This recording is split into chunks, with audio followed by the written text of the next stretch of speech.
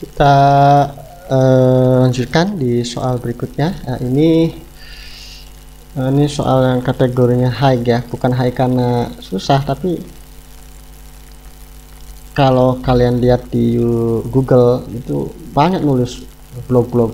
Faktor-faktor yang mempengaruhi ekspor. Tapi ketika dicari di bawah faktor-faktor yang mempengaruhi impor kok nggak ada ya? Karena saling contek mereka tuh. Jarang yang bikin sendiri sehingga uh, rujukannya sedikit makanya banyak kan ekspor. Gampang ekspor mah.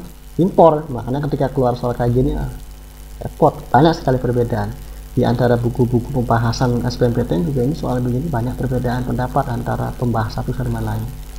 Nah dalam posisi itulah kemudian saya tertarik untuk membahas ini karena ini lawan debatable. Mari kita lihat.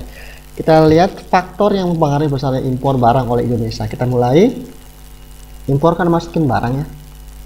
Nah, jadi barang dibeli agar masuk dan biasanya karena bisa jadi karena barang yang nggak ada di dalam negeri ataupun lebih murah kalau beli dan sebagainya. Nah sehingga e, orang impor itu kan atau ekspor impor secara umum itu terpengaruh oleh nilai tukar itu pokok maksudnya gini kalau nilai, nilai rupiahnya jatuh berarti orang lebih suka ekspor kenapa dia bikin barang dengan rupiah yang murah dibeli dibayar pakai dolar yang mahal. Jadi kalau rupiah jatuh uh, itu orang lebih suka ekspor. Kalau rupiahnya uh, naik dia lebih suka impor. Kenapa dengan rupiah naik berarti barang di luar negeri bisa dibeli dengan murah. Jadi empat ini uh, rupiah uh, bis, rupiah yang terdepresiasi atau terapresiasi terapresiasi itu berarti uh, naik nilainya terdepresiasi nilainya turunnya betul. Naik turunnya nilai tukar itu mempengaruhi impor betul. Fix ini betul. Oke berikutnya nomor dua pendapatan per kapita Indonesia.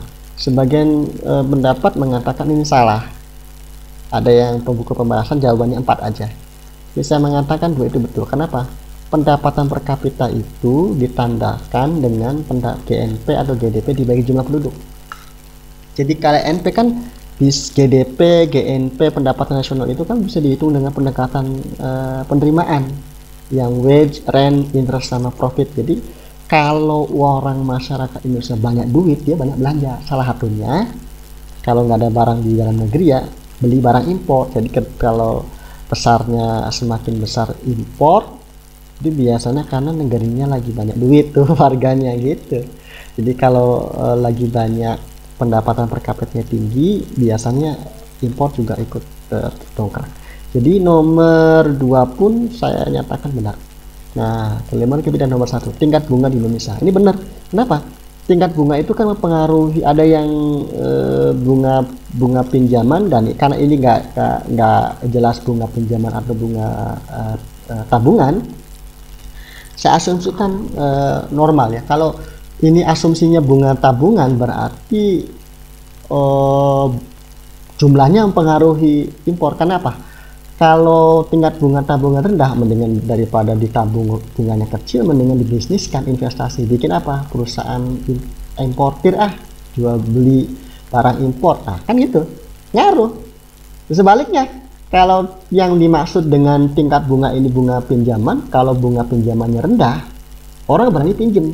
Kenapa pinjam Pak? Mau ini coba-coba ini beli barang dari luar negeri dijual di sini, bikin perusahaan importir. Nah bener. Jadi kalau nomor satu bener, nomor dua bener, nomor empat betul ya pasti bener semua. Nah, pendapatan per kapita negara mitra dagang ya ikut dibenarkan karena sebab berlaku sebaliknya kalau pendapatan per kapita lagi bagus mereka banyak bikin barang yang bermutu bersemangat bikin barang-barang baru kita sebagai negara yang ikut bermitra juga ikut terdorong untuk beli barang-barang mereka. Gitu. Jadi kalau sebaliknya kalau negaranya lagi miskin repot hidup susah ya tidak banyak barangnya dihasilkan oleh mereka. Apa yang mau diimpor dari mereka? Kan itu nah ini nggak jadi alasan dari sudut pandangnya. Saya coba lebih luas lagi mengatakan ini benar sih. Jadi ini jawabannya yang yang eh Mungkin kalau di buku lain jawaban empat saja ya punya pendapat sendiri, tapi saya sudah jelaskan pertimbangan-pertimbangannya. Bunga mempengaruhi, ya, dengan baik bunga pinjaman maupun bunga tabungan, semuanya mempengaruhi. Jadi kalau satu dan empat betul, pasti benar semua.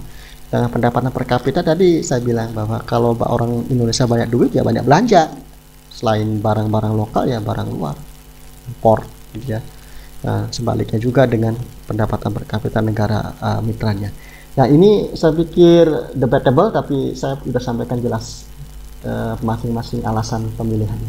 Mudah-mudahan bermanfaat. Kita akan ketemu lagi di lain waktu kesempatan. Terima kasih. Sampai ketemu lagi